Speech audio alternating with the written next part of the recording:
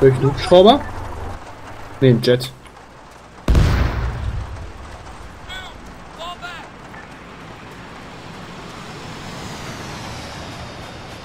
Also eins muss man den Dingern lassen, sie haben eine 1A Straßenhaftung.